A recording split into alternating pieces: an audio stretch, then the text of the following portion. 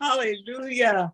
I praise God for that song. It is so uplifting. I am God. Amen. We have to recognize God in our lives. Hallelujah. Thank you, Jesus. Lord, I thank you.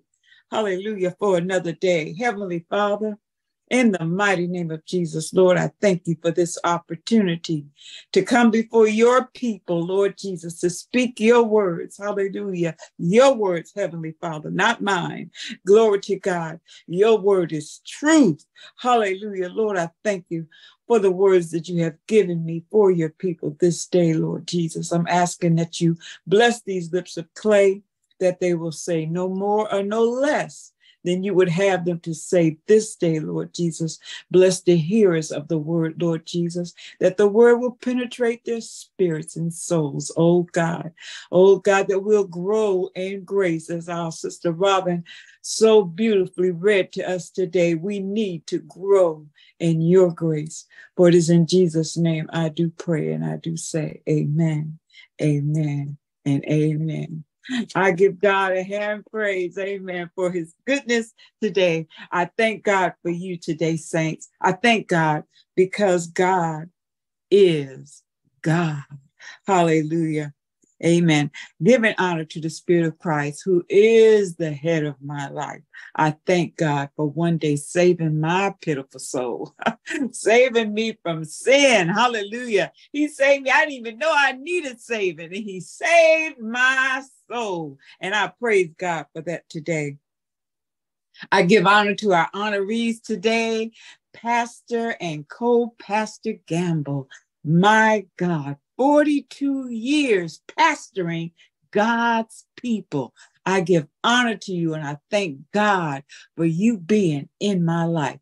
Amen. You have been a powerful, powerful inspiration. You, the Gambles, the Gambles, the well, she's uh, Cooper now, Cooper, and of course the Burns. Amen. I thank God you were there in the beginning of when the Lord called me from my sins. And I thank God for each of you. I praise God for every one of you that is on the line today in my hearing. I thank God for you. I thank God because we are family. Uh, there was a song they sung in the world, We Are Family. I got all my brothers and sisters with me. Hallelujah. We are family. And I thank God because we are in the family of God. And I love each and every one of you. Amen. And I ask that you pray for me today. The Lord gave me a word and I want to speak it as the Lord gave it to me. Uh, the theme of this anniversary, this 42nd pastor and wife anniversary, is we need the truth.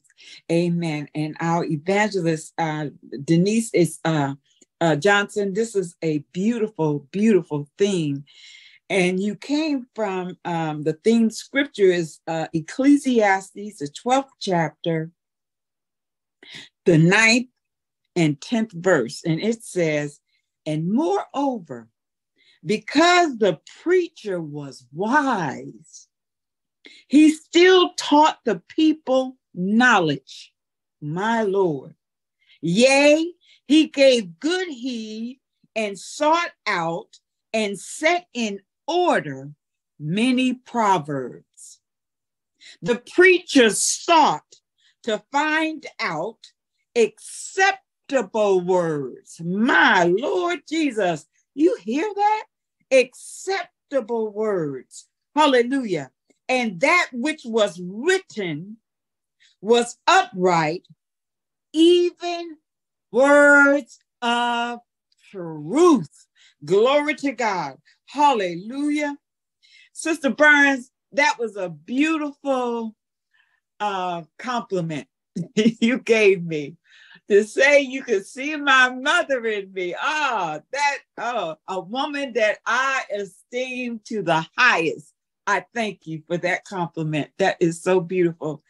And you all know I lost my mother at the tender age of 17. My mother passed away at the age of 17. But the important thing about that is she was saved, sanctified, and filled with the Holy Ghost. The Lord saved us two years prior to her death. And it was just God's timing is so beautiful. We got in just in time. Hallelujah. And I praise God for that. I praise God for that.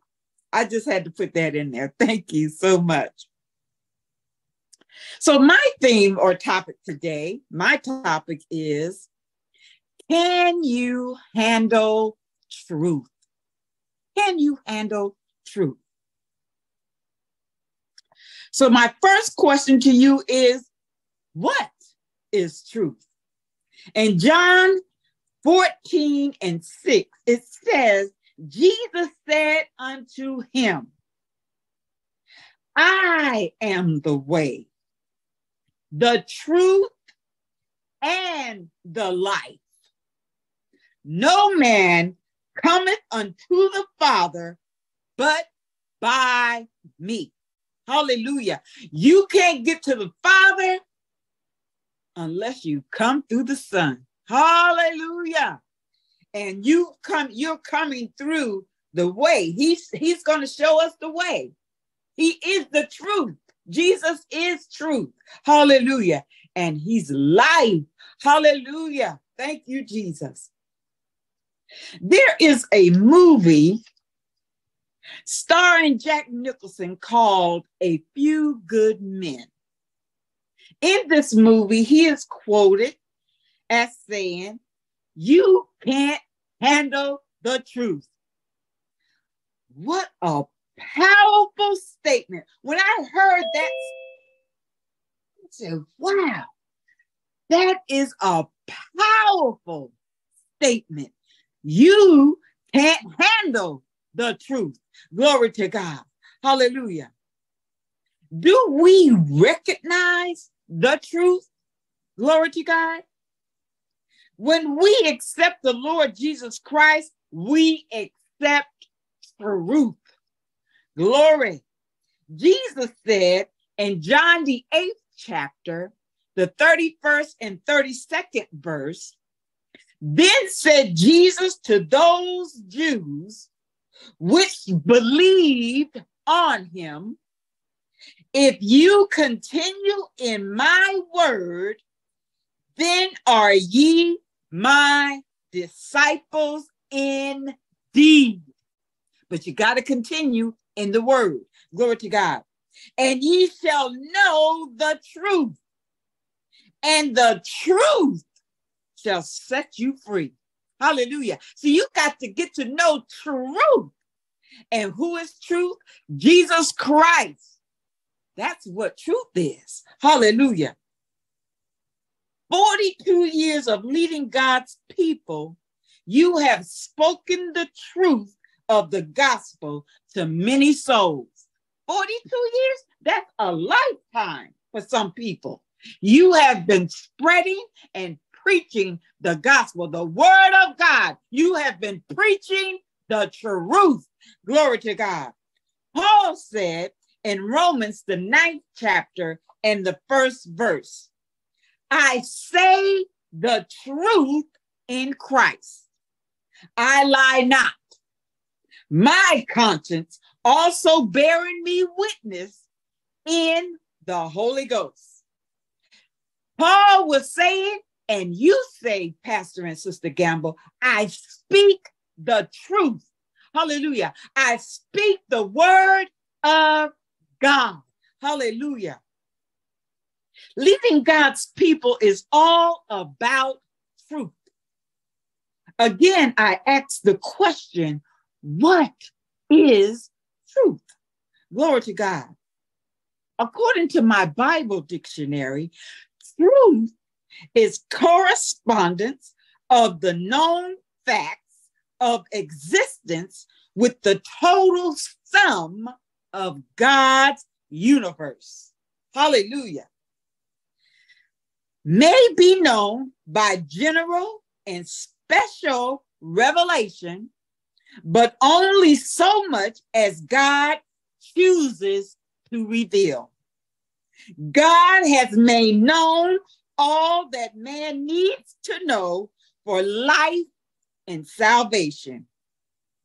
Truth is manifested supremely in Christ. Hallelujah. That's what my Bible dictionary says about truth.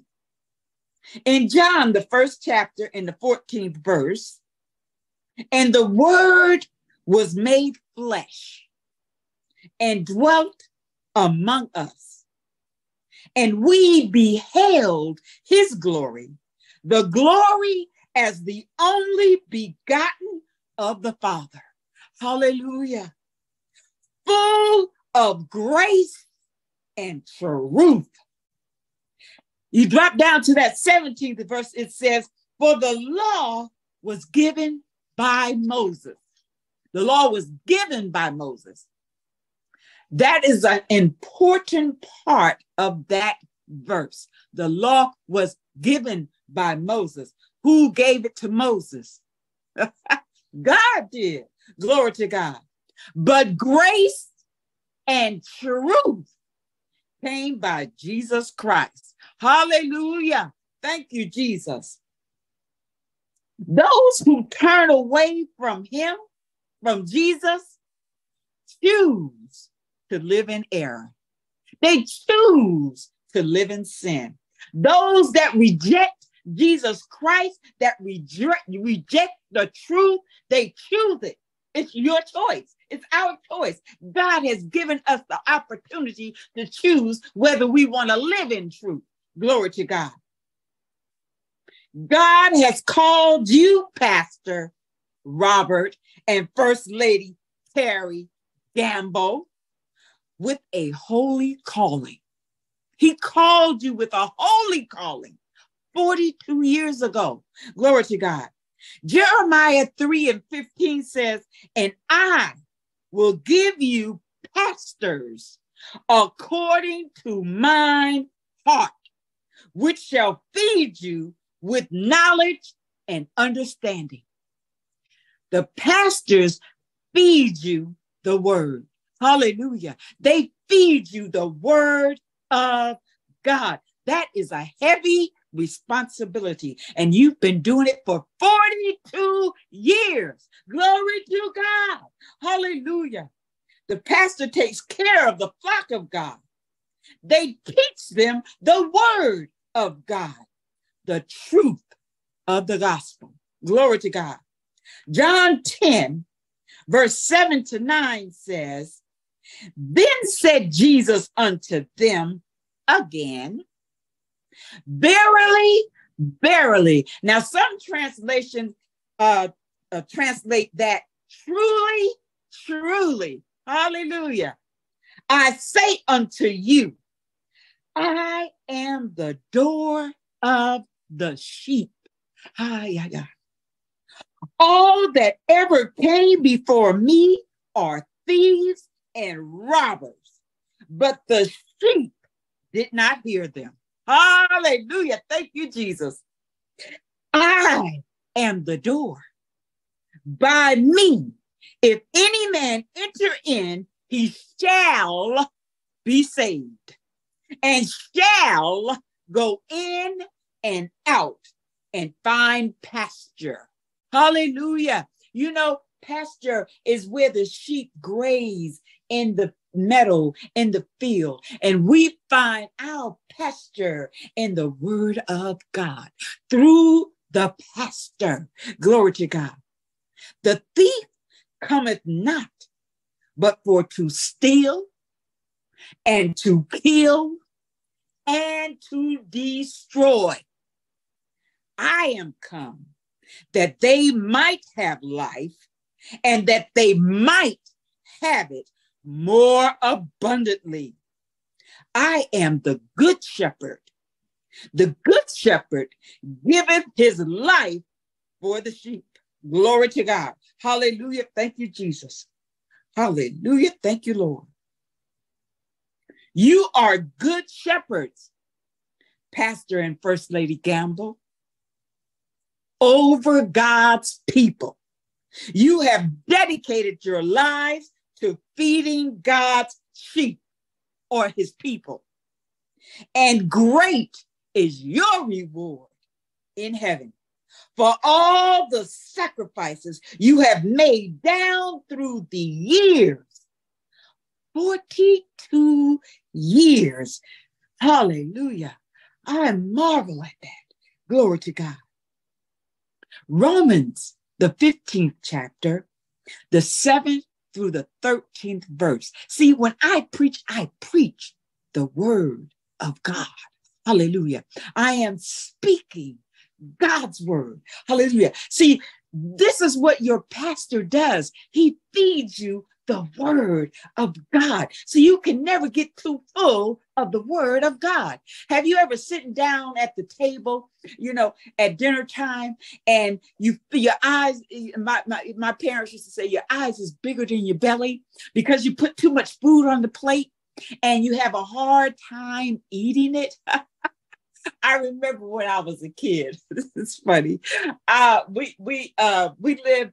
Uh, I went to school ten, and I was in uh, grade school. I think I was like in the fifth or sixth grade, and we would come home for lunch. And so when we came home, I wanted um, pork and beans, and so my father, uh, he worked the swing shift, so he was up, you know, uh doing things at at that at, in the kitchen you know. My mom she worked the graveyard shift. And so she would be asleep during the day. But my father was up around in the kitchen and he would fix our lunch when we would come home for lunch so i wanted pork and beans i, I was just determined i was going to have these pork and beans you know that day i wanted pork and beans so my father made the pork and beans and he put the pork and beans, he, he gave me the whole can. Hallelujah.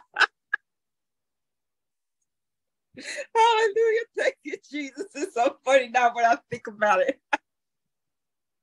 So I start eating these pork and beans. And I got the whole can. And I got full. I got full. I, I was so full. And it was like that family uh, size can of pork and beans. You know, my father didn't want to open up that can because I was the only one who wanted these beans.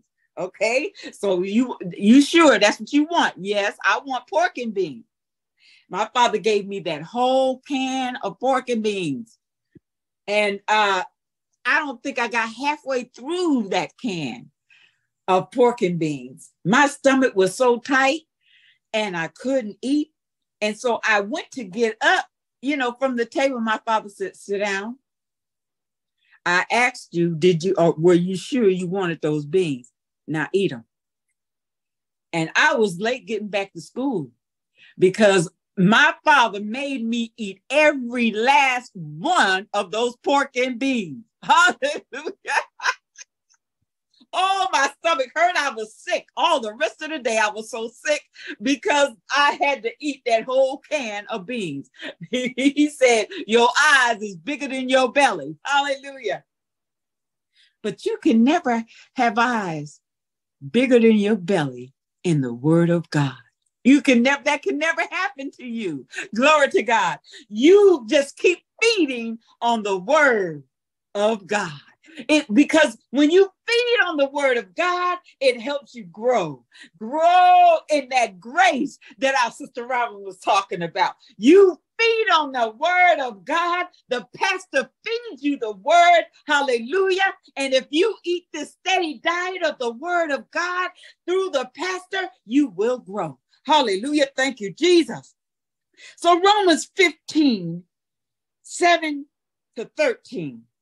Wherefore, receive ye one another as Christ also received us to the glory of God. Now I say that Jesus Christ was a minister of circumcision for the truth of God to confirm the promises made unto the fathers, our forefathers in in the talking about Abraham and all the Isaac and Jacob and what have you. And that the Gentiles might glorify God for his mercy. As it is written, for this cause I will confess to thee among the Gentiles and sing unto thy name. And again he said, Rejoice, ye Gentiles, with his people. Glory to God.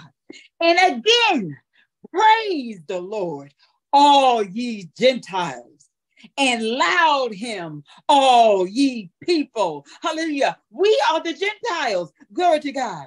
And again, Isaiah said, There shall be a root of Jesse, and he that shall rise to reign over the Gentiles, in him shall the Gentiles trust.